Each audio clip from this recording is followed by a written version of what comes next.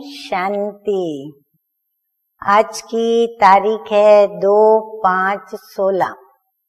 और आज की ज्ञान मुरली का शीर्षक, हम बच्चे खुशी में रहते हैं, उसके पीछे कौन सा राज है?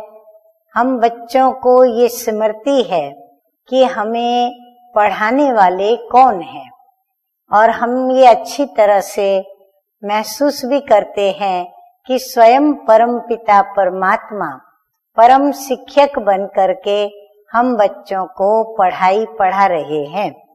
तो आइए सुनते हैं कि आज पढ़ाई में हमें मीठे मीठे बाप दादा क्या कहते हैं। तो बा, बाप दादा कहते हैं मीठे बच्चे सदा इसी खुशी में रहो कि स्वयं भगवान हमें टीचर बन करके पढ़ाते हैं। हम उनसे सीख रहे हैं। क्या सीख रहे हैं? बाबा कहते हैं, राजयोग सीख रहे हैं प्रजा योग नहीं। और राजयोग सीखने वाले क्या बनेंगे? राजाओं के राजा बनेंगे। तो इसीलिए ये राजयोग है। तो हमारा लक्ष्य भी प्रजा तो प्रजा ही सही, ऐसा लक्ष्य नहीं होना चाहिए। लक्ष्य हमारा राजाओं का, राजा बनने का ही होना चाहिए। प्रश्न है, इस पढ़ाई की खूबी कौन सी है? विशेषता कौन सी है? तुम्हें कब पुरुषार्थ करना है? उत्तर है, ये पढ़ाई जो बहुत समय से करते आ रहे हैं, उनसे नए बच्चे तीखे चले जाते हैं। यानी जो सीनियर बच्चे हैं उनसे जूनियर बच्चे आगे निकल जाते हैं। ये भी खूबी है। जो तीन मास के तीखी बुद्धि वाले तीव्र पुरुषार्थी नए बच्चे, पुरानों से भी आगे जा सकते हैं। तुम्हें पुरुषार्थ तब तक करना है जब तक पूरे पास न हो। हाँ पढ़ाई तब तक तो चलती ही रहेगी। जब तक तुम्हारी कर्मातीत अवस्था न हो और सब हिसाब किताब छूट न जाए। धारणा के लिए मुख्य सार की दो बातें।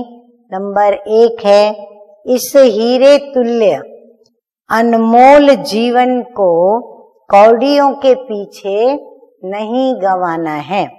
मौत सामने खड़ा है, इसलिए अपना सब कुछ रूहानी सेवा में सफल करना है। नंबर दो है, पढ़ाई और पढ़ाने वाले से सच्ची प्रीत रखनी है।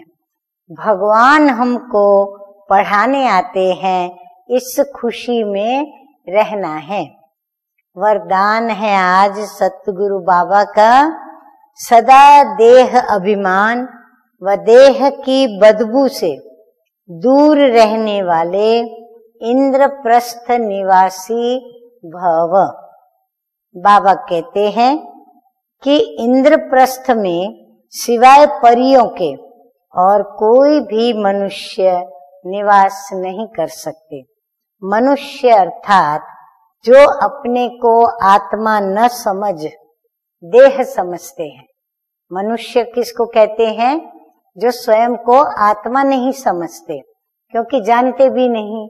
और अगर जानते हैं तो मानते नहीं। और अगर मानते हैं तो वो धारणा प्रैक्टिकल में नहीं।